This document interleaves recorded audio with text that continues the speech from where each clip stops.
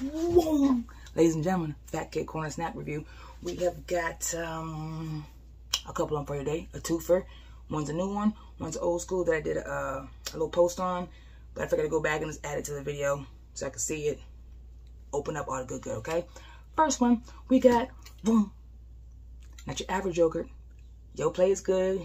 Yes, it is. But the bougie line, uh, we fancy, oui oui, fire with that. It's like, I don't know, it's like one of your, it's not a Greek, but a French style yogurt. So it's smooth, creamy, and uh, yeah. Fat kid snack. Now, let's see how pomegranate flavored cashews, vanilla. Let me show you something. Hold on, wait a minute.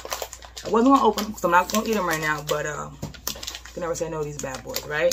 These right here, hold on, wait a minute.